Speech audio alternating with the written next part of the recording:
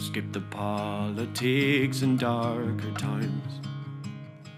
Εχθές όλη η ομάδα μαζεύτηκε στην Καλύβα και κάναμε μια συζήτηση προς τη Μελίνα. Εγώ προσωπικά δεν πήρα μέρος γιατί τα έχω συζητήσει με τη Μελίνα κατηδίαν ε, κάποια πράγματα. Ε, εξέφρασαν όλοι, ο καθένας συγχωριστά τα παράπονά του.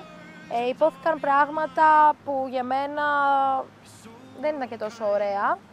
Ε, Παρ' όλα αυτά, η στάση της Μελίνας ε, ήταν ουδέτερη.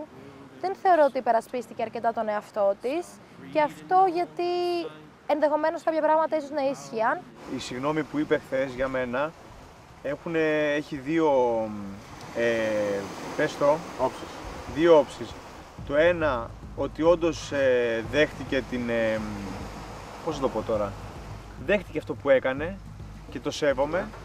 Και από την άλλη, ε, νιώθω και ωραία γιατί καταλαβαίνω ρε παιδί μου ότι το αφήνει πίσω της και πάμε και προχωράμε.